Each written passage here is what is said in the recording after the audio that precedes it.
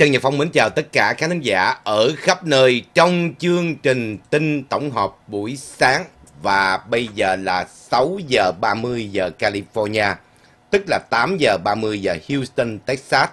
Trước hết cảm ơn tất cả bạn bè khán giả ở khắp nơi đã chọn channel của Phong để theo dõi các bản tin hàng ngày, các bài nói chuyện, phân tích, đối chiếu, so sánh trên tinh thần chủ quan của Phong cũng như là phần thảo luận của tất cả chúng ta sau mỗi một bản tin. Cảm ơn mọi người rất là nhiều. Và như thường lệ, chúng ta vẫn sẽ đi vào phần tin tức trước rồi mới bước qua phần đọc comment và thảo luận sau.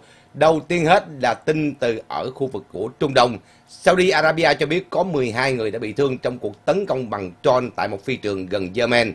Tin từ thủ đô Riyadh cho biết là lực lượng quân đội do Saudi Arabia dẫn đầu à, chiến đấu tại Yemen cho biết vào ngày thứ thứ năm là 12 người đã bị thiệt mạng trong một cuộc tấn công bằng drone ở một phi trường nằm ở phía nam của Saudi Arabia ở tại khu vực có tên gọi là Abba à, và trong đó là nằm sát biên giới với lại Yemen hiện vẫn chưa rõ là cái statement của lực lượng này là những ai bị thương và là những công nhân làm việc tại phi trường, những người du lịch hay là kể cả binh sĩ. Trong khi đó thì cái drone đã tự à, nổ lấy và đã tự phá hủy.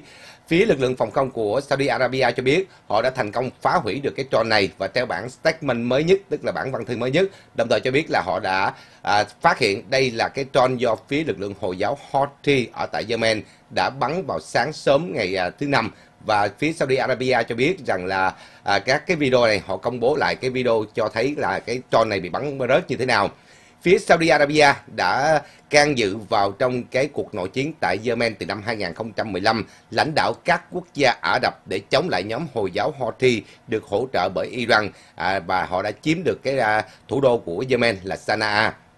Trong ngày thứ ba thì ông Joe Biden à, đã có cuộc nói chuyện với lại à, quốc vương của Saudi Arabia là King Salman. Trong đó thì Tòa Bạch Ốc cho biết là Tổng thống và quốc vương đã thảo luận về vấn đề của à, nhóm Hồi giáo à, được Iran hậu thuẫn có thể tấn công vào các cái à, vị trí dân sự tại Saudi Arabia.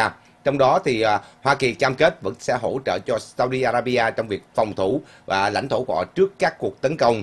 Cuộc chiến tại đây đã khiến cho hàng chục ngàn người đã bị thiệt mạng, bao gồm cả các chiến binh của các phía cũng như các gia giới thường dân, theo tường trình của à, Liên Hiệp Quốc và đây được xem là nơi có tình trạng khủng hoảng nhân đạo tệ hại nhất thế giới. À, trong khi đó thì chủ tịch của một cái nhóm à, thiện nguyện có tên gọi là Oxfam cho biết rằng là chính quyền của Yemen đã à, cùng với Saudi Arabia chống lại nhóm Hồi giáo Houthi này và trên 100.000 người đã phải đi lánh nạn ở khắp nơi kể từ khi cuộc nội chiến bùng nổ tại Yemen năm 2015. Đó là bản tin liên quan tới tình hình quốc tế ngày hôm nay. Trong khi đó, thì giới Tây phương lại lên tiếng cảnh cáo về những giây phút à, nguy hiểm khi Nga vẫn tiếp tục thực hiện cuộc tập trận ở tại Belarus. Bản tin mới nhất cho biết là Anh trong ngày thứ năm cho biết giới Tây phương có thể đối diện với những cái giây phút được xem là nguy hiểm trong cuộc đối đầu với Moscow vào trong vài vài ngày nữa khi mà Nga thực hiện cuộc tập trận của họ ở tại Belarus và ngay trên vùng biển Hắc Hải, nơi mà họ đang có những cái cuộc à, à, gọi là dồn quân tại đây. Căng thẳng đây vẫn còn khá cao khi Ukraine vẫn tiếp tục nói rằng là phía Nga sẵn sàng đánh chiếm họ bất cứ giờ phút nào. Tuy nhiên, các lãnh đạo của các phía đang hy vọng rằng các đường hướng ngoại giao có thể sẽ giảm đi tất cả những căng thẳng. Những gì mà ông Thủ tướng của Anh là Boris Johnson đã kêu gọi Âu Châu là đây là cuộc khủng hoảng à, an ninh lớn nhất của Âu Châu trong vài thập niên qua trong cái vòng là ngoại giao mới nhất thì phía ngoại trưởng của Anh cho biết là đã nói chuyện với phía của Nga. Trong khi đó thì ông Johnson, à, tức là ông Boris Johnson, thủ tướng của Anh, đã viếng thăm cái headquarter của Liên minh NATO tại Brussels và trong đó các giới chức của Nga, của Ukraine, của Đức và của Pháp đồng thời cũng có cuộc gặp gỡ tại Berlin để thảo luận cả các cái à, việc mà cuộc chiến chống lại cái nhóm mà à, ủng hộ cho Nga ở tại miền đông Ukraine từ năm 2014. Nga hiện đang có trên 100.000 quân trú đóng ở tại biên giới của Ukraine, bác bỏ các cái à, cáo buộc của Tây phương cho rằng họ chuẩn bị đánh chiếm lại cái quốc gia từng được xem là à, lãnh thổ của cựu Liên bang Xô Viết. À, tôi có thể nói rằng à, quyết định này vẫn chưa được đưa ra tại bởi phía Moscow. Tuy nhiên nó không có nghĩa là không có khả năng xảy ra một cuộc chiến bất cứ giờ phút nào. Ông Johnson đã nói với cuộc họp báo sau khi mà ông ta họp với lại tổng thư ký của Liên minh NATO là Jan, à, Jens Stoltenberg tại Brussels. Đây là giây phút nguy hiểm và tôi có thể nói rằng có thể sẽ diễn ra trong vài ngày tới. Và đây là cơn khủng hoảng an ninh lớn nhất tại Âu Châu mà chúng ta phải đối diện trong vài thập niên qua. Và chúng ta cần phải làm đúng tôi nghĩ rằng à, việc mà phối hợp tất cả các cái lệnh cấm vận và các cái giải pháp về quân sự cộng thêm giải pháp về à, ngoại giao thì nó mới có thể à, giải quyết được vấn đề này. Ông Stoltenberg đồng thời cũng cho biết sự nguy hiểm của à, an ninh Âu Châu, số lượng của quân đội của Nga trú đóng càng lúc càng tăng và cái à, lời cảnh cáo này có khả năng là sẽ có cái cuộc tấn công và chưa có đi giảm đi. Đây được xem là một trong những biến chuyển mới nhất diễn ra ở tại khu vực của Đông Âu và nơi mà Nga đang đối đầu với khối Tây phương. Trong khi đó, Lithuania đang tìm kiếm cái kế hoạch là để cho quân đội Hoa Kỳ trú đóng vĩnh viễn ở tại quốc gia của họ trong lúc đối diện với việc Nga đang tăng cường mạng lưới quân sự.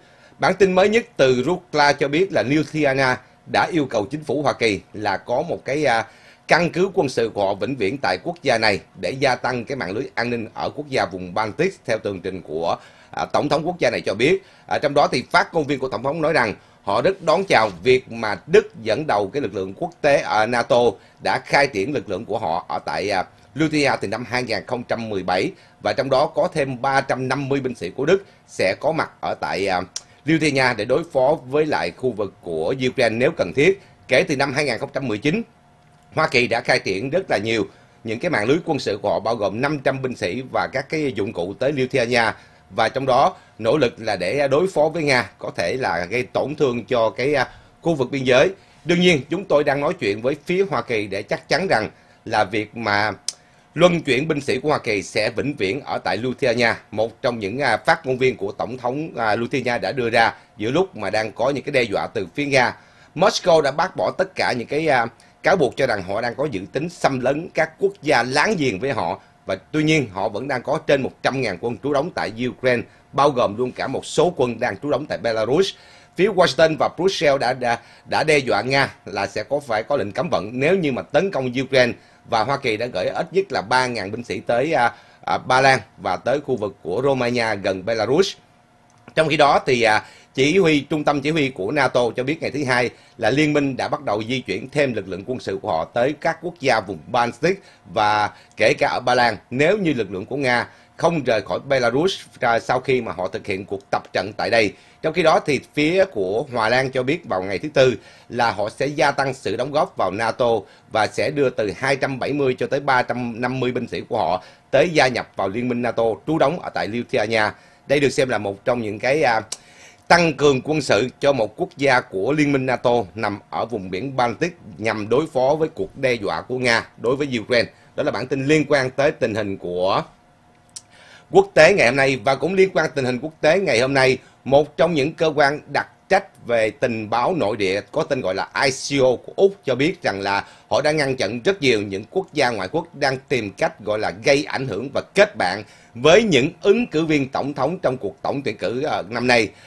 Người đứng đầu của cái tổ à, cái cơ quan ISO này có tên là Mike Burgess cho biết à, trong một cái bản báo cáo thường niên về sự đe dọa đến cái an ninh quốc phòng của nước Úc cho biết là đã có rất nhiều những cái thành phần ở ngoại quốc mà họ nhấn mạnh rằng là đa, đa số đến từ Trung Quốc đã có những cái hành động tìm cách tiếp cận và làm quen hay là hỗ trợ thông qua các trung gian cho những ứng cử viên để tìm cách à, gọi là thao túng hoặc là gây ảnh hưởng chính trị tại nước Úc. Tôi có thể xác nhận rằng cơ quan ISO trong thời gian gần đây đã ngăn chặn rất nhiều sự xen vào à, của ngoại quốc trong việc mà đang có những cái cuộc bầu cử sắp diễn ra tại nước Úc. Ông Burgess đã lên biến lên tiếng cho biết như trên và trong đó chính quyền cho biết rằng là sẽ áp dụng tối đa những cái uh, luật lệ đã được thông qua tại Quốc hội để ngăn chặn tình trạng mà ngoại quốc tìm cách xen vào cái cuộc bầu cử ở tại nước Úc, trong đó đặc biệt là họ nhắm tới Trung Quốc. Trung Quốc thường xuyên có những uh, thương gia đầu tư và làm quen với với rất nhiều những chính trị gia và thậm chí là những ứng cử viên hỗ trợ tài chính cho họ thông qua các trung gian khác để gây ảnh hưởng lên cái nền chính trị của nước Úc, kể cả nền chính trị địa phương.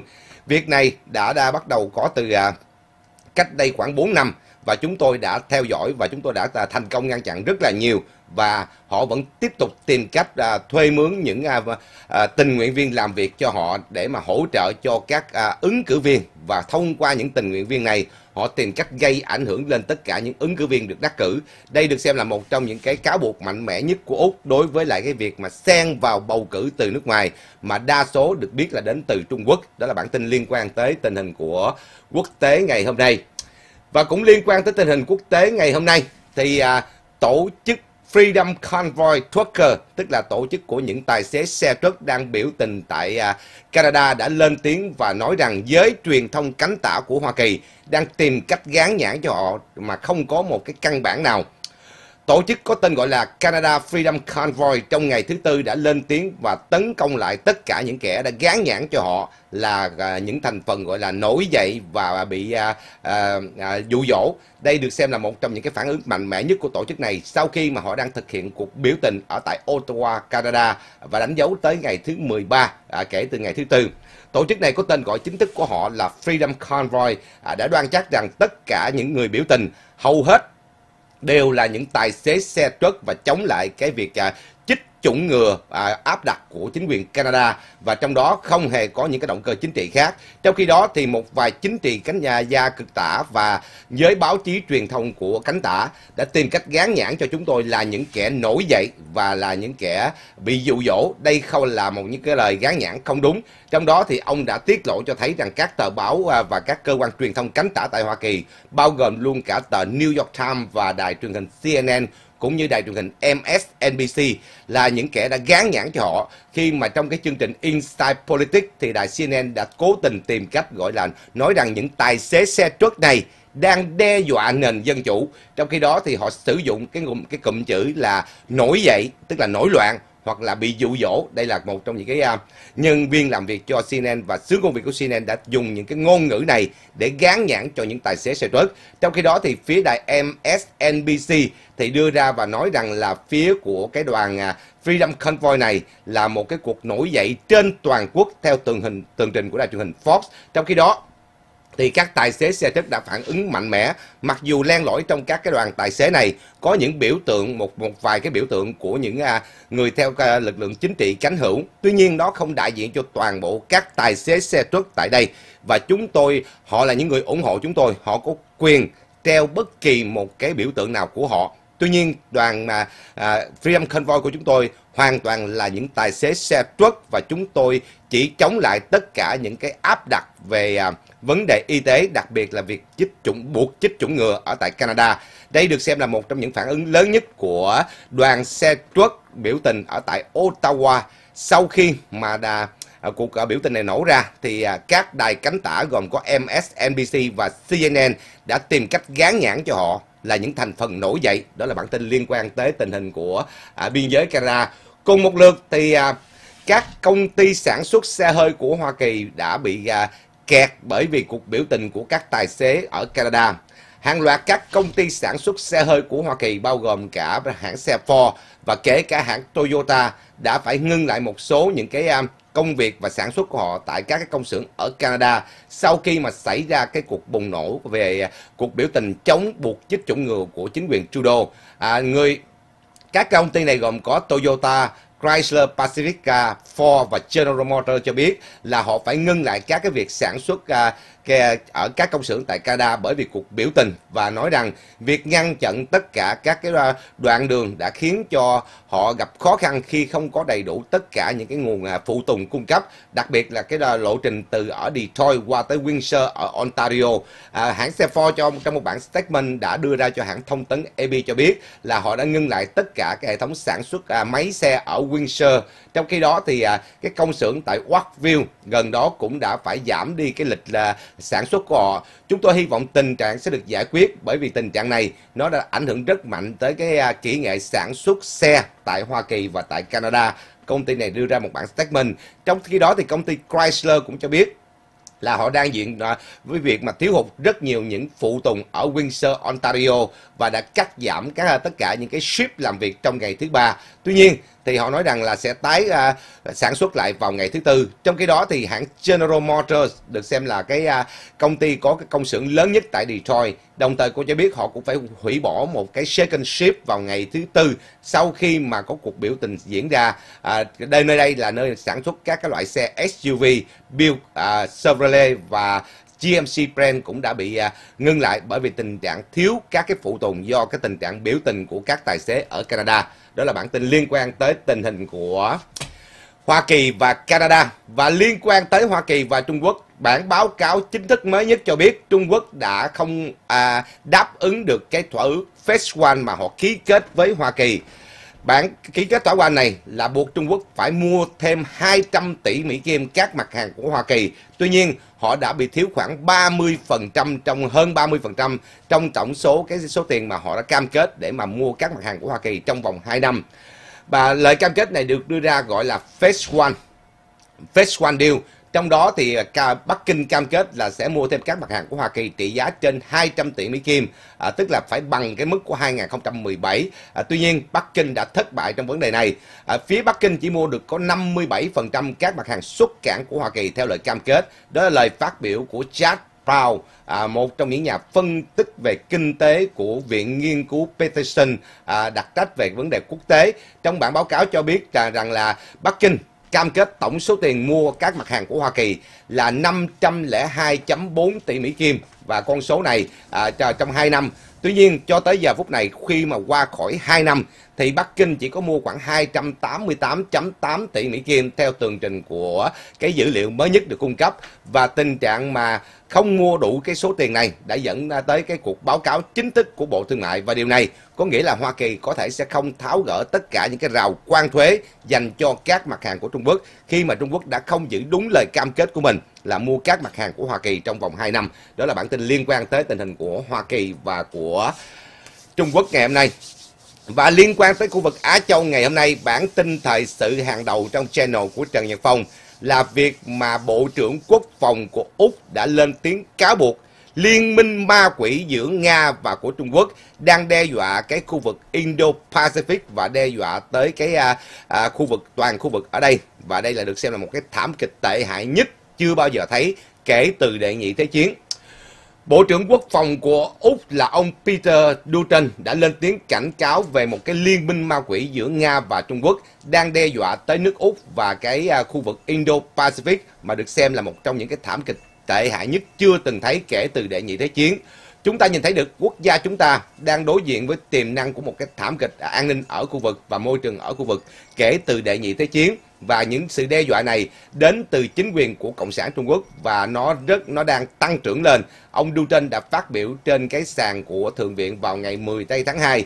Chúng ta đã nhìn thấy được cái liên minh ma quỷ giữa phía chính quyền của cộng sản Trung Quốc và chính quyền của Nga ờ, và trong đó thì ông Tổng thống Putin và cả hai quốc gia này đang tìm cách thúc đẩy các mối quan hệ của họ. Và điều này tôi nghĩ rằng nó là một cái lối ờ, một cái sự lo ngại rất lớn trên toàn thế giới, đặc biệt trong giai đoạn này và ngay trên khu vực của chúng ta. Đây là lời phát biểu của ông. Lời phát biểu này được đưa ra chỉ vài ngày sau khi người đứng đầu của tổ chức ISO là một cái cơ quan đặc trách về tình báo nội địa của Úc đã lên tiếng cảnh cáo rằng lực lượng mà ngoại quốc đang tìm cách tác động vào nền chính trị và cuộc bầu cử của Úc trong diễn ra vào tháng 5. Trong lời phát biểu này, vào ngày 9 Tây thì uh, giám đốc điều hành của ICO là tư lệnh có tên là Mike Burgers đã lên tiếng và công bố về cái uh, dữ liệu về an ninh trong đó uh, đã họ đã thành công ngăn chặn được rất nhiều những cái trò gây tác hại và gây à, ảnh hưởng vào nền chính trị của Úc trong cuộc bầu cử vào tháng 5 sắp tới. Tôi có thể xác nhận rằng chúng tôi đã phải à, đã thành công à, trong việc ngăn chặn những cái âm mưu mà tìm cách gây ảnh hưởng chính trị từ bên ngoài. Ông Burgess đã cho biết như trên, hầu hết các ứng cử viên chính trị đều trở thành mục tiêu bị tấn công à, bởi cái nhóm này, bao gồm cả việc chiêu dụ và tấn công bằng hacker nhắm vào các trang web của họ trong lúc họ tranh cử. Đây được xem là lời cáo buộc mạnh mẽ nhất của cái cơ quan đặc trách về an ninh đối nội của nước Úc và trong đó họ cho biết là phía Trung Quốc đã tác động rất nhiều trong cái nền chính trị của nước Úc. Đó là bản tin liên quan tới tình hình của Á Châu Thái Bình Dương. Cùng một lượt thì Liên minh AUKUS đã lên tiếng kêu gọi sẽ tổ chức một cái à, à, hệ thống gọi là quốc phòng không gian mạng để chống lại các cái tình trạng tống tiền bởi các hacker. Úc, Hoa Kỳ và Anh đang đưa ra một cái quy tắc chung cho các quốc gia và các tổ chức cũng như các cá nhân trong việc mà đối phó với lại cái an ninh quốc phòng trên không gian mạng, chống lại cái tình trạng trên toàn cầu đang phải đối diện. Đó là cuộc à, tống tiền của các à, hacker. Trong đó là các được xem là tội ác có một cái à, à, mức độ à, phạm tội khá cao. Trong à, cái à, một cái bản mà gọi là thông cáo chung đã được đưa ra vào ngày 9 tây thì à, các cái cơ quan liên bang của Hoa Kỳ bao gồm cả cơ quan FBI tức là cơ quan điều tra liên bang của Hoa Kỳ, à, National Security Agency, tức là cơ quan an ninh quốc gia, cũng như là cái cơ quan đặc trách về không gian mạng và các cái hạ tầng cơ sở của Hoa Kỳ gọi tắt là CS, CISA à, cùng với lại cái cơ quan đặc trách về an ninh quốc phòng của nước Anh và cơ quan đặc trách về an ninh quốc phòng của nước Úc đã quyết định là sẽ đưa ra một số những cái quy tắc để làm cách nào đối phó với tình trạng mà tấn công tống tiền trên không gian mạng. Trong năm 2021 thì có tới 14 cái khu vực và à, của Hoa Kỳ và à, tức là 14 cái công ty à, tư nhân của Hoa Kỳ và 16 cái à, hạ tầng cơ sở về à, điện tử của Hoa Kỳ đã bị tấn công à, nặng nề và bị tống tiền bao gồm luôn cả cái ngành à, về à, khẩn cấp cũng như là về ngành à, thực phẩm và ngành nông nghiệp, chính phủ cũng như là các cái uh, kỹ thuật về uh, thông tin kỹ thuật ở kỹ nghệ này đều bị tấn công. Trong khi đó, Úc đã trở thành mục tiêu tấn công trong kỹ nghệ về y tế, tài chính, à, những cái à, à, gọi là high education tức là giáo dục cao cũng như ngành năng lượng cùng một lượt thì anh cũng đã bị tấn công ở các mức độ ở à, các cái công ty các cái tổ chức về thiện nguyện các cái cơ sở tiểu thương và kể cả những cái ngành chuyên nghiệp đây được xem là một trong những cái liên minh mới nhất và họ kêu gọi thúc đẩy những cái quy tắc đặt ra để đối phó với tình trạng tấn công không gian mạng mà trong đó họ nhấn mạnh các cái hacker từ Nga, từ Trung Quốc, từ Bắc Hàn và từ Iran là bốn cái tiềm năng hacker rất là lớn và đang có tình trạng gọi là đe dọa tới không gian mạng của các quốc gia trong cái liên minh AUKUS. Đó là bản tin liên quan tới tình hình của Hoa Kỳ, của Trung Quốc và của khu vực Á Châu Thái Bình Dương ngày hôm nay. Cùng một lượt thì à, Ngoại trưởng Hoa Kỳ đang trên đường tới nước Úc để mà ta, à, à, tham gia các phiên họp của khối và bộ tứ Kim Cương. Ngoại trưởng của Hoa Kỳ là ông Anthony Blinken đang trên đường bay tới khu vực Á Châu Thái Bình Dương vào ngày thứ ba. Trong đó thì ông sẽ thúc đẩy việc đối à, à, hợp tác với các đối tác tại đây nhằm ngăn chặn sự bành trướng của Trung Quốc giữa lúc mà đang phải giải quyết cơn khủng hoảng tại Ukraine. Ông Blinken sẽ có 3 ngày viếng thăm Melbourne và gặp gỡ với lại ngoại trưởng của các quốc gia trong nhóm à, The Quad, tức là nhóm à, Bộ Tứ Kim Cương, bao gồm có Hoa Kỳ, Nhật Bản, à, Ấn Độ và Úc. Trong đó thì Washington hy vọng rằng sẽ có một cái chiến lược để đối phó với lại việc mà Bắc Kinh đang có tham vọng thống trị trong khu vực. Chuyến viếng thăm này diễn ra giữa lúc mà các viên chức cao cấp của Úc, trong đó bao gồm luôn cả Thủ tướng Scott Morrison, đang tìm kiếm xây dựng một cái liên minh à, quốc phòng và một cái à, phối hợp song phương giữa cái liên minh AUKUS à, đã vốn đã được thành lập vào tháng 9, trong đó sẽ thách thức tất cả những cái à, sự bành trướng của Trung Quốc. Và chuyến này, chuyến đi này diễn ra giữa lúc mà Washington đang có cuộc họp báo với các, và các cuộc họp với các viên chức của Liên hiệp Âu Châu để thể hiện sự đoàn kết trước sự đe dọa của hơn 100.000 quân của Nga trú đóng tại biên giới của Ukraine.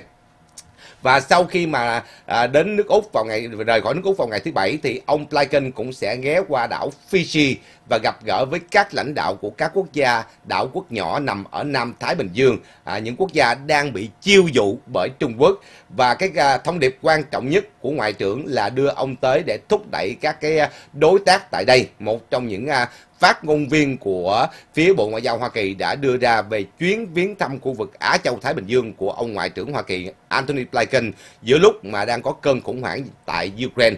Đó là bản tin liên quan tới tình hình của nước Úc ngày hôm nay và chuyến đi của Ngoại trưởng Hoa Kỳ tới Á Châu. Trong khi đó thì Trung Quốc đã ngưng lại nhập cảng tất cả các loại thịt bò từ Lithuania để mà trừng phạt việc mà Lithuania đã kết nối các cái mối quan hệ của họ với Đài Loan. Trung Quốc đã ngưng lại toàn bộ những cái thịt bò nhập cảng từ Liêu Thê Nha vào ngày thứ Tư, theo tường trình của à, phía Trung Quốc cho biết và cái Cục Hải quan Trung Quốc cho biết và trong đó gia tăng thêm cuộc đối đầu giữa quốc gia nhỏ vùng Baltic này à, với lại phía Trung Quốc. Trong khi đó thì các quốc gia khối Tây phương đều hậu thuẫn cho cái à, à, chính sách của Liêu Thê À, Hải quan của Trung Quốc đã không đưa ra cái lý do tại sao họ ngưng lại nhập cảng thịt bò. Tuy nhiên Việc này họ nói rằng là à, có những cái à, dịch bệnh có thể bùng nổ từ những cái thực phẩm và gây mất an toàn do đó họ phải ngưng lại việc nhập cảng thịt bò từ Lithuania. Việc này diễn ra giữa lúc mà phía Anh và Liên hiệp Âu Châu cho biết họ hậu thuẫn mạnh mẽ cho cái đơn kiện của Liên hiệp Âu Châu nhắm vào Trung Quốc ở tổ chức mậu dịch thế giới gọi tắt là WTO và Quỹ hội Âu Châu cho biết Lithuania xuất cảng qua Trung Quốc đã rớt 91% từ hồi tháng 9 à, so với cùng một tháng năm 2020 và Lithuania đã cho phép Đài Loan mở một văn phòng đại diện của họ với cái tên là Taiwan thay vì là Tibet vào năm ngoái. Điều này đã dẫn tới sự nổi giận của Trung Quốc và Bắc Kinh đã chơi cái trò dùng kinh tế để trừng phạt Lithuania. Đây được xem là một trong những cái trò trừng phạt và dùng kinh tế để bức hại của các quốc gia khác của Trung Quốc đã lộ rõ và WTO cho biết họ sẽ thụ lý cái à, đơn kiện của Liên hiệp Âu Châu và kể cả Quỹ hội Âu Châu. Đó là bản tin liên quan tới tình hình của Đài Loan và của Trung Quốc và đại sứ Trung Quốc tại Liên Hợp Quốc đã lên tiếng thúc giục Taliban là phải có những cái hành động ngăn chặn những tiềm năng khủng bố. Đại sứ của Trung Quốc ở tại Liên Hợp Quốc đã lên tiếng và nói rằng là Trung Quốc đang đối diện với một cái mức độ báo động cao về khủng bố và cần yêu cầu à, phía Taliban là phải có một cái à, hành động ngăn chặn các hoạt động khủng bố này khi họ à, cáo buộc những thành à, viên ở trong một cái tổ chức gọi là à, à, tổ chức Hồi giáo ở miền đông Turkestan, à, tức là phong trào Hồi giáo ở miền đông Turkestan, còn gọi được là Jihad hay là cuộc thánh chiến ở tại Tân Cương. Phát biểu trong cuộc họp của là Liên Hiệp Quốc vào ngày thứ Tư, thì đại sứ của Trung Quốc là Yan Chun đồng thời thúc giục chính quyền Taliban ở Afghanistan là phải có hành động trong tương lai để chống lại tình trạng mà khủng bố đã trỗi dậy tại đây.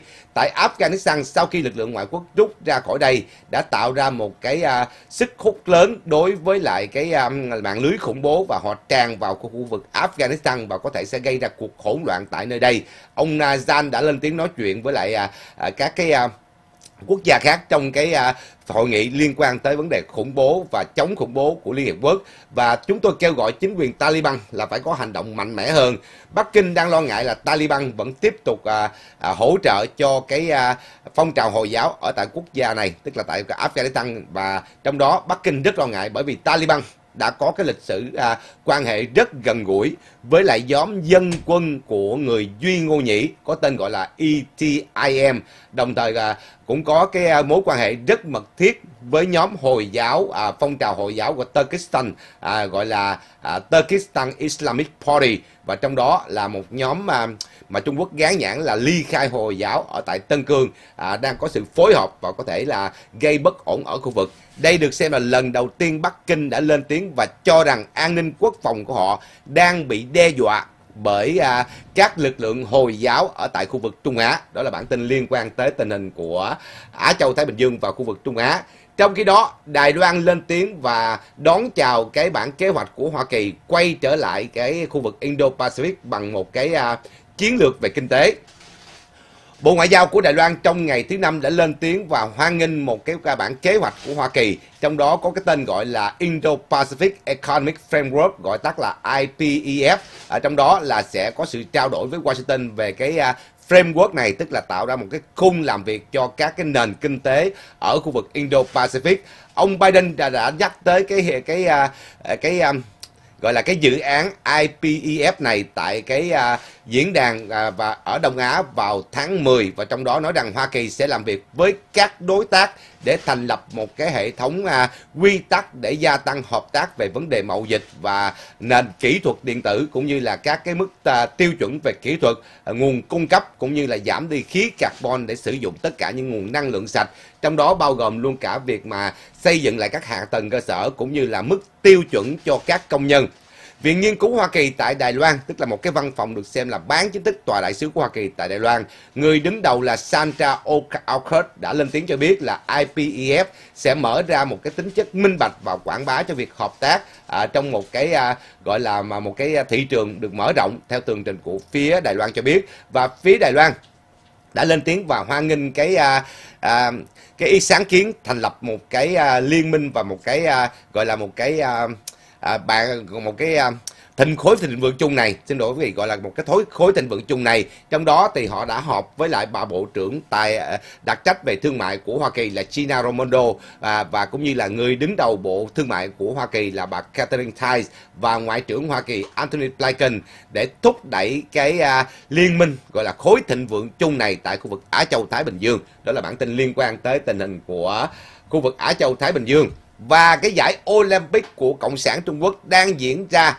ở tại Bắc Kinh phía khiến cho cái mạng xã hội Weibo đã phải xóa đi ít nhất 40.000 cái post ở trên Weibo. Mà trong đó đã có những cuộc tranh cãi gay gắt. Bản tin mới nhất cho biết cuộc tranh cãi sau khi mà một vận động viên gốc Hoa Kỳ à, sinh ra ở Hoa Kỳ nhưng trở về Trung Quốc và nhập quốc tịch Trung Quốc và đại diện cho Trung Quốc tranh tài ở giải Olympic về à, mùa đông. Và cô này đã bị trượt ngã 3 lần ở trên cái à, cuộc tranh tài này kéo điểm toàn bộ cái đoàn, đoàn à, tranh tài của Trung Quốc bị rớt điểm.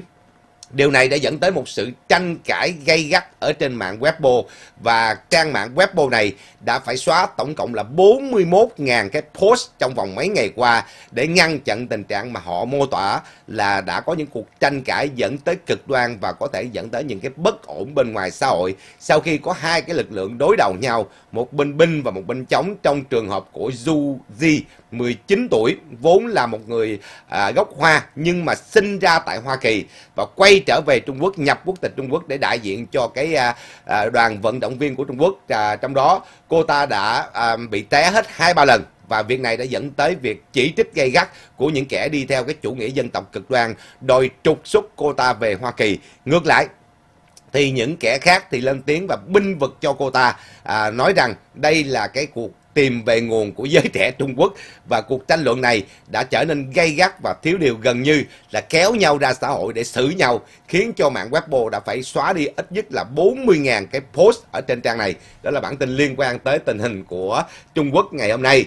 Trong khi đó thì à, Tổng thống sắp sửa hết nhiệm kỳ của Nam Hàn là kêu gọi tái tục các cuộc đối thoại giữa Nam và Bắc Hàn. Tin từ Seoul cho biết là Tổng thống Moon Jae-in, người đã sắp sửa hết nhiệm kỳ trong cái à, những tháng còn lại, đã lên tiếng kêu gọi Bắc Hàn là phải à, tái tục các cuộc đối thoại sau khi họ lo ngại rằng Bắc Hàn vẫn tiếp tục à, thực hiện và tăng cường các cuộc thử nghiệm vũ khí của họ, bao gồm luôn cả chương trình nguyên tử của họ. Căng thẳng đã gia tăng trở lại giữa Washington và Bình Nhưỡng trong tháng này sau khi mà Bình Nhưỡng đã có 7 lần liên tục thử các loại vũ khí của họ, bao gồm luôn cả hỏa tiễn đạn đạo và các loại hỏa tiễn siêu âm thanh. Đồng thời phía Bắc Hàn cũng đã lên tiếng đe dọa là các cái khả năng hỏa tiễn của họ có thể bắn tới cả thềm lục địa của Hoa Kỳ và có thể gây rung chuyển cả thế giới. Lời phát biểu này đưa ra đã khiến cho ông Moon Jae-in lo ngại và kêu gọi phía Bắc Hàn là tái tục các cuộc đối thoại à, à, đôi, với lại phía Nam Hàn. Lời phát biểu này đưa ra chỉ còn vài tháng nữa là Moon Jae-in đã hết nhiệm kỳ ở tại à, à Nam Hàn và đang có một cuộc tranh cử mới diễn ra tại đây. Đây được xem là một trong những cái biến chuyển mới nhất ở khu vực Đông Bắc Á và có thể dẫn tới một cái cuộc căng thẳng khác sau khi phía Bắc Hàn cho biết rằng là họ sẵn sàng có những cái uh, cuộc thử và vũ khí tiếp tục. Cùng một lượt thì các nhà quan sát nói rằng Bắc Hàn có thể sẽ thực hiện một cuộc uh, duyệt binh mới để mà khoe khoang tất cả cái khả năng quân sự của họ. Các hình ảnh từ satellite chụp xuống cho thấy hàng trăm người đã tụ tập trong một cái trại à, huấn luyện ở ngay thủ đô Bắc Hàn và có khả năng rằng quốc gia này đang chuẩn bị cho một cuộc duyệt binh vĩ đại và trong đó là khoe khoang tất cả những cái um, vũ khí mới của họ vốn đã được thử nghiệm gần đây. Đây được xem là một trong những cái báo cáo mới nhất ở cái trang gọi là The 38 North website, trong đó cho thấy hình ảnh của phía Bình Nhưỡng những cái hình ảnh chụp từ satellite xuống cho thấy là có rất nhiều người đang tụ tập ở tại khu vực à, huấn luyện ở cái à, ngay tại thủ đô Bình Nhưỡng để tham gia một cái cuộc gọi là tập à, tập huấn về à, à, duyệt binh và trong đó có thể có khả năng là Bắc Hàn sẽ có một cuộc duyệt binh vĩ đại để khoe khoang tất cả những cái vũ khí mới của họ. Đây được xem là một trong những bản báo cáo mới nhất từ phía của cái tổ chức chiến lược tại Nam Hàn và dựa trên những cái tình hình ảnh satellite chụp bởi một cái tổ chức chiến lược tại Tokyo và đã gửi ra trong mấy ngày qua ở trên tờ military.com trong đó cho thấy là Bắc Hàn đang chuẩn bị ráo riết cho một cuộc duyệt binh mà họ mô tả là rất vĩ đại. Đó là bản tin liên quan tới tình hình của khu vực Đông Bắc Á ngày hôm nay. Và cũng là bản tin sau cùng trong phần tin thời sự buổi sáng ngày hôm nay. Cảm ơn tất cả mọi người rất là nhiều cho bản tin này. Và bây giờ thì như thường lệ, chúng ta vẫn bước qua phần đọc comment và thảo luận. Rồi lướt qua những cái lời chào hỏi của quý vị. Hello anh, anh nghĩ nếu Nga xâm chiếm Ukraine thì EU có thể chống nổi không? Chưa biết được. EU thì không có khả năng chống. Tại vì EU là một liên minh về kinh tế. Họ không có khả năng quân sự. Còn nếu hỏi NATO chống được hay không thì phải hỏi ngược lại. Liệu Nga có đỡ nổi với 30 quốc gia trong liên minh NATO hay không? Còn EU thì nó chỉ là một tổ chức kinh tế thôi chứ nó không phải là một cái tổ chức quân sự. Liên minh à, uh, EU tức là uh, Europe à, Europe uh, Union đó là gọi tắt là EU đó thì trong đó là gồm 27 quốc gia. Nhưng mà Âu Châu đâu phải có 27 quốc gia. Âu Châu có cả mấy chục quốc gia là chỉ có 27 quốc gia nằm trong cái liên minh EU và đây là cái liên minh kinh tế giữa các quốc gia này với nhau thôi. EU không có khả năng quân sự. Khả năng quân sự là liên minh NATO nha ok để à, hiểu rõ các cái tổ chức trên đó đã rồi tiếp tục à wow Yeah, Bộ trưởng Quốc phòng Úc nói giống Tổng thống Bush còn vậy. No, Tổng thống Bush còn nói khác. Tổng thống Bush còn quy đến lúc đó ông ta nói rằng là Iran, à, Iraq và Bắc Hàn là nằm trong trong cái trục ma quỷ chứ không phải là liên minh ma quỷ. Còn cái này nó gọi là Unholy Alliance. Thì tôi tạm tôi tạm dịch là trên nguyên tắc nó dịch là liên minh xấu xa nhưng tôi gọi đó là liên minh ma quỷ nha. Nó gọi là Unholy. Ok. Họ gọi là ông gọi là Unholy Alliance. À, à, đây là một trong những cái lời phát biểu của ông à, Peter Dutton là Bộ trưởng Quốc phòng của Úc. Công ty đó ngày xưa, ông Bush con trước khi mà xảy ra vụ khủng bố, thì ông ta tuyên bố là Iran, Iraq và Bắc Hàn là cái trục ma quỷ thôi. Ok. Rồi tiếp tục. À, wow.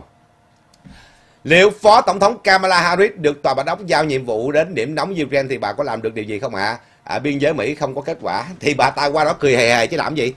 Tôi đã nói với quý vị là sẽ không giải quyết được. Kamala Harris sẽ không giải quyết được chuyện gì.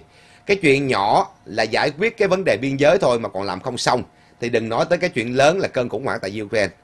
Tại vì trên nền chính trị của Âu Châu khá phức tạp. Kamala Harris thuộc nhóm cánh tả. Bà ta qua đó nói là để à, giải quyết cái cơn khủng hoảng tại à, Âu Châu. Nhưng tôi nghĩ mục đích chuyến đi của bà ta là để trấn an đám à, chính trị gia cánh tả tại Âu Châu. Nhiều hơn là bà ta đi thuyết phục và giải quyết cái cơn khủng hoảng tại Ukraine. Tôi nghĩ là như vậy nha. Rồi tiếp tục. Nếu Nga đánh Ukraine thiệt, Nga có sẵn hơn 100.000 quân. À, bên NATO US chỉ có hơn 20.000 làm sao đánh anh? Nước xa đâu cứu được lửa gần, làm sao biết nước nước xa? Quý vị có biết tổng cộng Liên minh NATO có bao nhiêu ngàn bao nhiêu quân không? Riêng Hoa Kỳ không đó, là 600.000 quân. Chưa kể những quốc gia khác. Cộng hết liên minh NATO lại đó, thì số lượng quân của họ của họ cả triệu quân. Vài triệu quân. Còn Nga cộng hết cả nước Nga lại được bao nhiêu quân? Nói tôi nghe coi. Cộng hết cả nước Nga lại được bao nhiêu quân? Lực lượng Liên minh NATO là khi họ khai triển bây giờ là tạm thời số lượng quân là vài chục ngàn quân. Nhưng khi cần tăng cường thì các quốc gia sẽ tăng cường. Và trong đó sẽ lên vài triệu quân như chơi. Nội lực lượng của Thổ Nhĩ Kỳ, lực lượng của Canada và lực lượng của Anh không đó là quý vị biết là với lại Hoa Kỳ không là thấy hết một triệu quân rồi. Chưa kể những quốc gia khác. Chưa kể những quốc gia khác, Anh nè, Canada nè, Hoa Kỳ nè, Thổ Nhĩ Kỳ, bốn quốc gia này thôi. Thì lực lượng của họ là trên một triệu quân rồi. Thì nói tôi nghe đi, Nga có được bao nhiêu quân? Ok, 100 ngàn Nga bây giờ đang trú đóng là 120 ngàn quân. Cộng thêm 20 ngàn quân ở Belarus nữa là 140 ngàn quân. Ok, và nếu NATO huy động lực lượng quân sự của họ qua đây, Hoa Kỳ chỉ cần đưa vào một phần tư lực lượng của họ qua đây thôi. Một phần tư trong tổng số quân của họ 150 ngàn quân thôi. Là nước Nga đã thổ quyết rồi. Chứ chưa nói tới Anh, chưa nói tới Canada, chưa tới, nói tới Thổ Nhĩ Kỳ. Nha. Ok, rồi tiếp tục. À, Nga Trung bắt tay với nhau thì ông Bảy và Pháp Đức nhức đầu rồi đây. Thì bây giờ họ đang bắt tay. Nhưng mà cái bắt tay này là giai đoạn chứ không phải là một cái à, một cái thỏa ước vĩnh viễn. Tức là một cái permanent uh, treaty. Nó gọi là permanent treaty tức là một cái thỏa ước uh, vĩnh viễn. Đây chỉ là cái cuộc hợp tác trong giai đoạn thôi. Còn liên minh NATO, nó là một cái hiệp ước vĩnh viễn. Nó là permanent treaty. Nó là cái liên minh quân sự Bắc Đại Tây Dương. Và cái liên minh này bây giờ được mở rộng tới 30 quốc gia. Và đó là một cái hiệp ước vĩnh viễn. Cũng giống như cái hiệp ước đồng minh giữa Hoa Kỳ và các đồng minh ở tại Á Châu. Ví dụ như cái hiệp ước à, Ally giữa Hoa Kỳ và của Nhật Bản là cái hiệp ước vĩnh viễn. Hay là cái hiệp ước của Hoa Kỳ và Nam Hàn là cái hiệp ước vĩnh viễn. Còn cái sự hợp tác của Trung Quốc và Nga chỉ là trong giai đoạn trước mắt thôi nó họ chưa có hề có một cái hiệp ước vĩnh viễn một cái uh, permanent treaty tức là một cái thỏa ước vĩnh viễn đó chưa có đây chỉ là hợp tác giai đoạn thôi nha rồi à, Wow. 10 Biden cũng không bằng một Putin chơi với lửa có, à, có ngày phỏng tay đợt này Biden phỏng tay thật. Ok, chúc mừng sức khỏe. Chưa biết được. Tôi thì tôi cho rằng là chơi chính trị cục bộ giành quyền giành lợi thì à, à, Bush à, thì à, Biden cũng không kém gì Putin đâu. Nhưng mà nếu mà chơi chính trị quốc tế thì Biden phải quả thật kém xa Putin. Nhưng mà nếu mà chơi chính trị cục bộ, giành quyền giành lực và sẵn sàng đi đêm và làm đủ đủ trò đó thì Biden chưa chắc thua cho Putin. Ok, Biden chưa chắc thua cho Putin đâu nha. Rồi tiếp tục à Thế giới phải có chiến tranh đó là sự thanh lọc của Thượng Đế để cân bằng sinh thái như loài động vật khác có sự thanh lọc để sinh tồn. À, điều này chứng minh qua cả ngàn năm. Thật sự thì quý vị có thể nhìn theo cái hướng này. Nhưng mà tôi thì tôi nhìn theo một cái hướng rất là đơn giản. Tức là thế giới đa cực đã khiến cho thế giới bất ổn nhiều nhiều nhiều, nhiều hơn trong vòng 30 năm qua. Kể từ khi khối cộng sản sụp đổ. Do đó chia lại thế giới lưỡng cực tôi nghĩ rằng tốt hơn. Tại ít nhất từ thập niên à, từ khi mà chấm dứt chiến tranh lạnh cho tới lúc mà à, khối cộng sản sụp đổ thì à, các cái cuộc à, gọi là xung đột đã giảm đi rất nhiều. Đã giảm đi rất nhiều. Nhưng mà kể từ khi mà Bill Clinton thúc đẩy toàn cầu hóa và thực hiện cái chiến lược thế giới đa cực thì toàn thế giới đều bất ổn. Kéo dài suốt mấy chục năm nay rồi. Nha. Thì tôi nghĩ rằng là còn cần một cuộc chiến để chia lại thế giới lưỡng cực tốt hơn. Ok.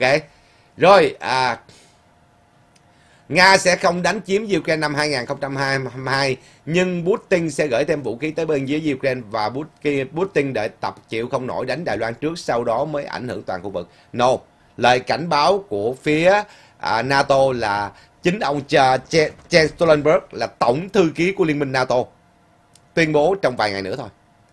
Trong vài ngày nữa là Putin sẽ à, đưa ra quyết định. Tại vì hai cái bản kế hoạch một bản kế hoạch do Hoa Kỳ và NATO đã gửi cho Putin.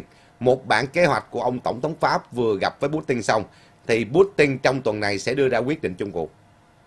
Và mấy ngày nay thì à, cái lực lượng gọi là mạng lưới về à, thông tin của Nga đã bắt đầu cổ võ tuyên truyền cho cái vấn đề cuộc chiến này. Thứ nhất, thứ hai là à, trước đó thì à, Điện Kremlin đã đặt câu hỏi về một bản nhạc rap được phổ biến ở tại Ukraine mà trong đó có những ngôn ngữ cho rằng là có sự xúc phạm tới nước Nga. Có nghĩa là phía Điện Kremlin đang tìm cái cớ để tấn công Ukraine đó quý vị. Mấy ngày nay là Điện Kremlin đã đặt câu hỏi về một bản nhạc rap của một ca sĩ nhạc rap ở Ukraine mà họ nói rằng là có cái à, à, ám chỉ cái việc xúc phạm người Nga. Thì đây là một trong những cái cớ mà Kremlin đưa ra thì tôi chưa biết nhưng mà ngày hôm qua sau phiên họp của ông Jens Stoltenberg với lại phía của à, Anh đó thì à, họ lên tiếng là có thể happen trong vài ngày tới. Và Boris Johnson cũng nói là it's a few days tức là vài ngày tới thôi. Cái này mình cũng không biết được ok?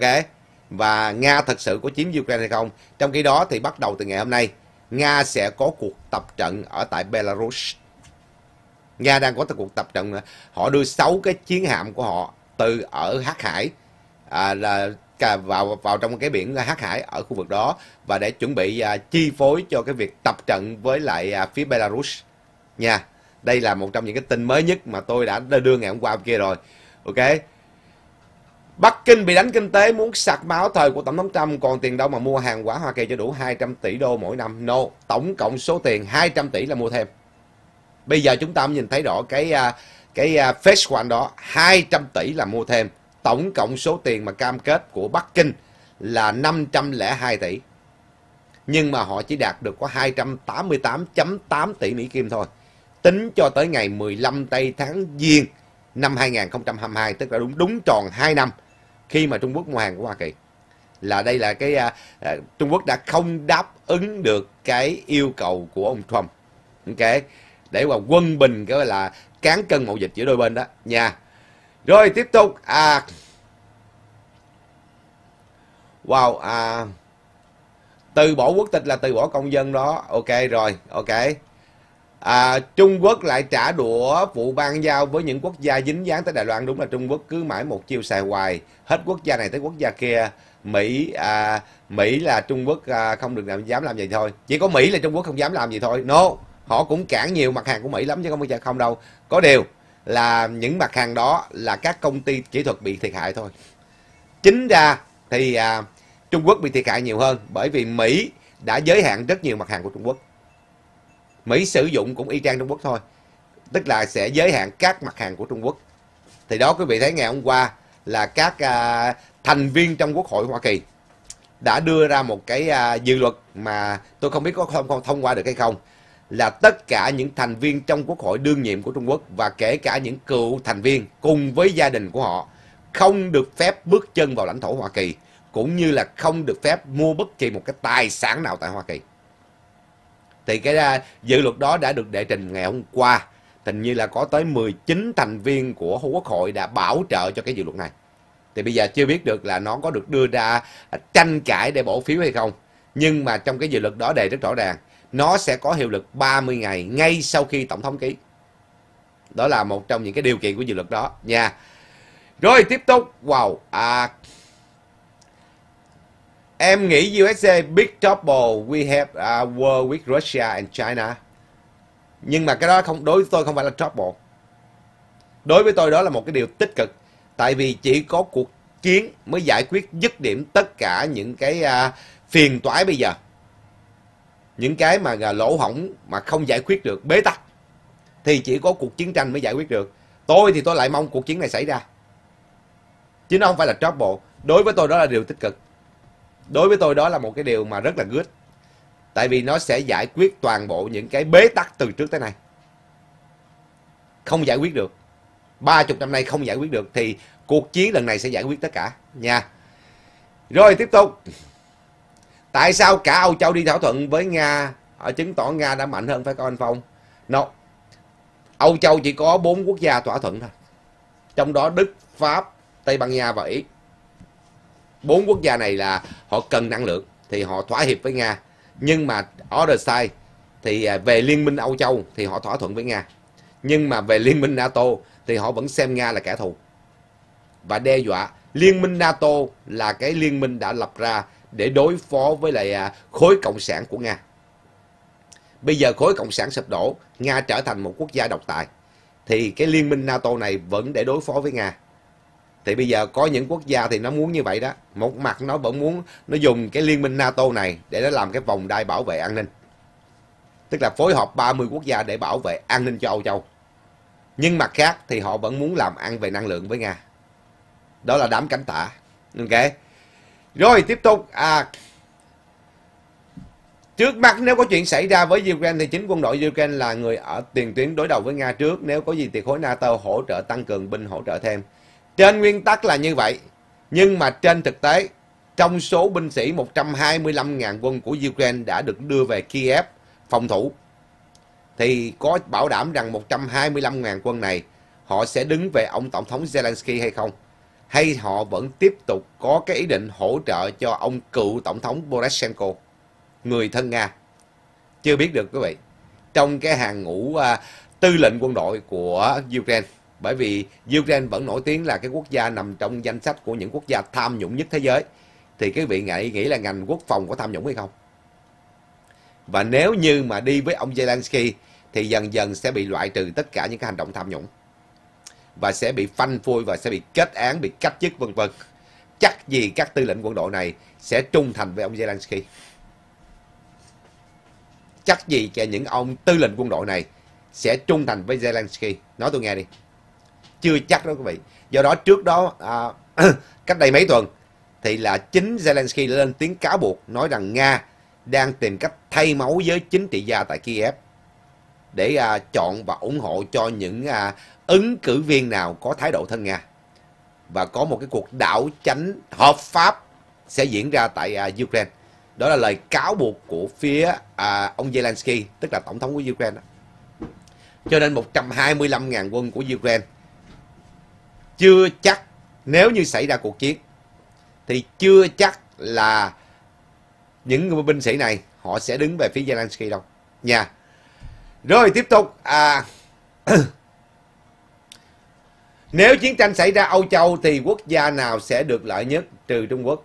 nếu chiến tranh xảy ra tại Âu Châu tôi không nói quốc gia nào được lợi nhưng mà cái mà những kẻ được lợi nhiều nhất chính là Apple, Google và Facebook cũng như Twitter. Bốn công ty này sẽ được lợi. Nếu chiến tranh bùng nổ tại Âu Châu thì bốn công ty này sẽ được lợi. Tức là mục đích của những công ty này là làm cho các chính quyền suy yếu không đụng tới họ được tức là weak và thứ hai là họ tìm cách tấn công ngược lại ông Putin sau khi mà ông Putin đã ký một loạt những cái gì luật kiểm soát chặt chẽ các công ty Big Tech. Kiểm soát chặt chẽ các công ty Big Tech. Buộc họ phải ra phải à, tôn trọng các cái luật của Nga. Cho những công ty Big Tech này dùng đủ mọi cách để mà lật đổ ông Putin. Thì lật đổ ông Putin bây giờ chỉ có một cách duy nhất thôi là dùng chiến tranh. Tại vì không thể dùng chính trị được. Ông Putin đã dập tắt tất cả những mầm mống gọi là chính trị đối lập rồi. Không đủ khả năng để lật đổ ông ta. Do đó, cái duy nhất còn lại có thể lật đổ được Putin là chiến tranh. Cho nên ngoài Trung Quốc ra, ngoài Trung Quốc ra, thì các công ty Big Tech là thành phần thứ hai được hưởng lợi trong cuộc chiến này. Tại vì thứ nhất là các công ty, các quốc gia của Âu Châu vì nhu cầu cuộc chiến đối đầu với Nga sẽ giảm bớt tất cả những cái quy tắc đối với họ. Và lúc đó họ sẽ càng thao túng trên cái à, trên cái à, cả cái mạng xã hội hay là những cái trang à, platform của họ và Âu Châu sẽ phải thỏa hiệp với các công ty Big Tech để các công ty Big Tech có thể hỗ trợ cho họ trong cuộc chiến này. Do đó, đổi lại thì các uh, chính quyền của Âu Châu sẽ phải giảm bớt tất cả những cái uh, chính sách gây gắt dành cho họ đang diễn ra. Quý vị biết Quỹ hội Âu Châu và Liên hiệp Âu Châu đang à, áp dụng những chính sách gây gắt tới mức mà Facebook còn tuyên bố là sẽ rời khỏi Âu Châu mà. Facebook đã từng tuyên bố là sẽ rời khỏi thị trường Âu Châu mà. Sau đó thì họ lên tiếng bác bỏ đó. Do đó, cái cuộc chiến này mục tiêu của các công ty Big Tech là làm cho tất cả các chính quyền suy yếu không thể đụng tới họ được. Kể cả chính quyền của Joe Biden luôn. Do đó quý vị, cuộc chiến này nếu quý vị hỏi tôi ai có lợi thì tôi nói ngoài Trung Quốc ra là bốn công ty Big Tech trong à, bốn năm công ty Big Tech của Trung Quốc của Hoa Kỳ, Microsoft, Apple, Google Facebook, Twitter. Đó là những công ty sẽ có lợi nhất trong cái à, cuộc chiến này nha. Rồi tiếp tục. Wow. À, đưa vũ khí hạt nhân ra khỏi Âu Châu, Âu Châu Á, Putin nuốt trọn một đốt nhà.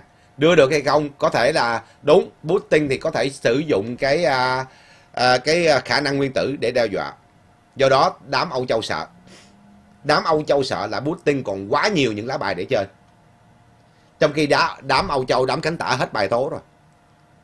Đám cánh tả Âu Châu lá bài cuối cùng của họ là ông Alexander Navalny, nhà chính trị đối lập của Nga. Ông này đã bị tống vào tù. Coi như lá bài đã chấm dứt rồi. Lá bài đã chấm dứt rồi. Âu Châu không còn lá bài nào để đánh với lại phía Nga cả. Trong khi đó, Putin còn quá nhiều những lá bài để mà đối đầu với phía phía Âu Châu. Trong đó ngoại trừ cái à, vũ khí về năng lượng, tức là Na, Nga nắm cái quyền à, à xuất cản về năng lượng ra, đúng không? Thứ hai, sự chi phối của Nga đối với những quốc gia được xem là chư hầu, trong đó Georgia, Belarus và sắp sửa là ở Crimea ở à, Ukraine đó, Crimea. Thì quý vị là cái vũ khí thứ hai của ông ta. Và cái vũ khí thứ ba của ông ta là chính là cái khả năng nguyên tử khả năng nguyên tử của nước Nga. Nhưng mà Putin thì không bao giờ nhắc tới chuyện này cả. Tức là ông ta chưa muốn dùng tới cái khả năng cuối cùng này. Ông ta còn quá nhiều lá bài để chơi, không cần dùng tới cái thứ lá, lá bài chót này. Trong khi đã đám Âu Châu hết bài tố rồi. Đám Âu Châu và kể cả à, Joe Biden hết bài tố Putin rồi. Hết bài để tố rồi. Trong khi Putin vẫn còn vẫn còn bài để tố. Cho nên tôi nói kỳ này là đám Âu Châu sẽ đối diện với một cái hậu quả rất là nghiệt ngã nha. Rồi tiếp tục. À, wow, à, Nam Hàn có thành phần ăn cơm quốc gia thờ ma cộng sản của anh Phong. Đó là ông tổng thống Moon Jae đó. Ông ta sẵn sàng sẽ thỏa hiệp với phía Bắc Hàn để đạt được cái à, cái cái, cái gọi là cái à, thống nhất Nam Bắc Hàn. Thì ông ta là một trong những người mà quý vị có thể gọi là ăn cơm quốc gia thờ ma cộng sản đó nha. Rồi tiếp tục. À, Biden lần này làm tổng thống Mỹ chọn phó tổng thống là nữ da đen đầu tiên từ à, à, phó tổng thống tới tổng thống không làm gì cho đất nước Hoa Kỳ. thật sự quý vị chuyến đi của Kamala Harris lần này tới Âu Châu trên nguyên tắc là sẽ giải quyết cơn khủng hoảng của Ukraine nhưng mà trên thực tế là nguyên một cái băng đảng cánh tả ở DC đang lo ngại rằng là nếu như mà họ không đưa ra những cái quyết định cứng rắn giúp cho đám cánh tả Âu Châu thì đám cánh tả Âu Châu phản phé. Do đó, chuyến đi này của Kamala Harris là trấn an đám cánh tả tại Âu Châu nhiều hơn là cái chuyến đi giải quyết cái cơn khủng hoảng tại Ukraine. Theo tôi biết là như vậy. Cái chuyến đi này của Kamala Harris là trấn an lực lượng cánh tả tại Âu Châu nha. Rồi tiếp tục. Rồi à Trước mắt có chuyện gì xảy ra với Ukraine thì chính quân đội Ukraine là ok cái này đọc rồi ha. Ok. À Thời cánh tả cầm quyền ở EU và Hoa Kỳ là cơ hội tốt cho Putin động binh. Dạ, đúng, đây là cơ hội. Bởi tôi nói là Putin còn nhiều lá bài là như vậy đó nha. À, Putin đòi Mỹ đem vũ khí hạt nhân ra khỏi Âu Châu. Họ đã có đòi nhưng mà không được. Trừ khi Nga cũng giảm đi cái lượng nguyên tử của họ thì Hoa Kỳ sẽ không đưa những cái à, cái đầu đầu đạn hỏa tiễn của Hoa Kỳ chỉ đặt ở một số quốc gia Âu Châu, trong đó nước Đức đứng đầu. Nước Đức là cái nước mà đang có một số những vũ khí nguyên tử của Hoa Kỳ đặt ở đó nha. Rồi tiếp tục, à, mình nghĩ phải có cuộc chiến mới thay đổi trật tự thế giới. Điều đó là điều khẳng định luôn, chứ không cần nghĩ đâu. Tại vì chỉ có cuộc chiến à, xảy ra, bùng nổ thì mới có thể lập lại cái world order. Tức là cái à, trật tự thế giới. Còn nếu như không quý vị, nó vẫn tiếp tục loạn. Thế giới đa cực, nó là vẫn tiếp tục loạn. Bây giờ đẩy vào thế giới lưỡng cực là dẹp được những cái loạn không cần thiết. Và chỉ có đối đầu giữa lưỡng cực mà thôi. Thì cuộc đối đầu giữa lưỡng cực thì các phía đều kềm chế, giống như thời chiến tranh lạnh. Các phía đều kềm chế không dẫn tới một cuộc chiến bùng nổ lớn. Do đó, đẩy qua thế giới lưỡng cực tốt hơn. Còn thế giới đa cực á, mạnh ai có kiếm là vẫn vẫn chém như thường, mạnh, mạnh ai có cung là vẫn bắn như thường. Họ bắn nhau, họ chém nhau tùm lum hết thì nó vẫn sẽ làm cho thế giới trở nên bất ổn hơn rất là nhiều nha. Rồi tiếp tục à Wow à Quốc hội Hoa Kỳ đã tối tuyên bố không công nhận đường lưỡi bò của Trung Quốc ở Biển Đông sao không pháo những đảo nhân tạo của Trung Quốc xây dựng. Quốc hội Hoa Kỳ chưa bao giờ nói chuyện đó. Hình như bạn nghe lọ, bạn nghe tin tầm bậy tầm bạ hết trơn rồi. Ok, mà là chính phủ Hoa Kỳ bên hành pháp thôi. Chính phủ Hoa Kỳ bên hành pháp mà lúc đó là thời của ông Mike Pompeo. Ông đã chính thức đại diện cho chính phủ Hoa Kỳ gửi lên Liên Hiệp Quốc cái lá đơn và, và Hoa Kỳ phản đối những cái uh, yêu sách lưỡi bò của Trung Quốc và khẳng định là cái yêu sách này là bất hợp pháp ở Liên Hợp Quốc. Rồi tới thời của Joe Biden là tiếp nối theo để mà cái chính sách này vẫn xác nhận lại là Hoa Kỳ không thừa nhận cái uh, đường lưỡi bò của Trung Quốc ở tại Biển Đông. Làm gì có quốc hội Hoa Kỳ trong đây? Quốc hội Hoa Kỳ không có không hề có những cái chính sách này. Và cũng chưa đưa ra cái luật nào liên quan tới Biển Đông cả. Do đó, nghe tin phải nghe cho chính xác, đừng có nghe tầm bậy. Ok? Và cái chiến lược của Hoa Kỳ sẽ từ từ. Thứ nhất là khi mà đã chính danh biến nó thành bất hợp pháp rồi, thì sẽ từ từ à, bắt đầu có những cái cuộc đụng độ trên mặt biển.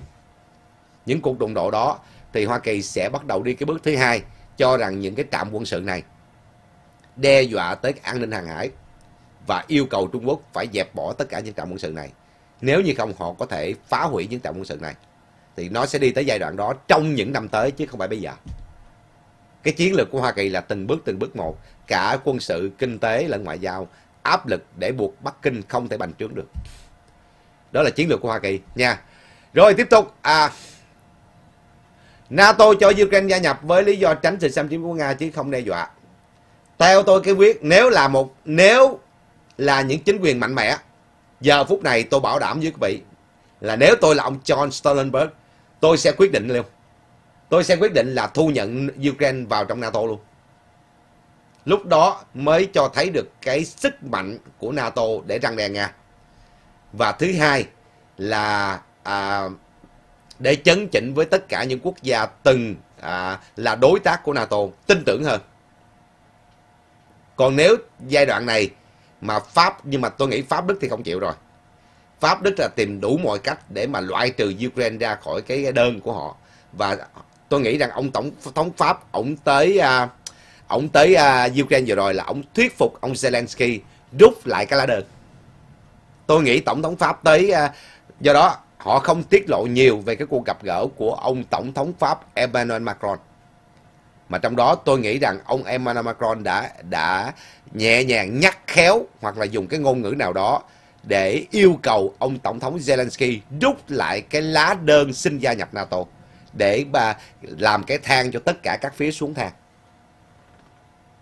Tôi nghĩ rằng là như vậy, họ đi theo cái chiều hướng này. Tức là ông Zelensky tự ý rút lại cái lá đơn đó. thì tôi nghĩ là Tổng thống Pháp đưa ra cái đường hướng này để mà giải quyết cái uh, cơn khủng hoảng đang diễn ra tại Ukraine. Ok quý vị, đó là cuộc nói chuyện và là cái phần tin tức sáng ngày hôm nay. Cảm ơn mọi người rất là nhiều cho bản tin này. Phong sẽ trở lại cùng tất cả khán thính giả ở khắp nơi trong phần hiêu tin nhật ký vào sáng ngày hôm nay. Xin cứ à, chiều ngày hôm nay xin quý vị nhớ đón nghe và theo dõi. Cảm ơn sự đóng góp ý kiến của mọi người và chúng ta gặp lại sau. Bye bye.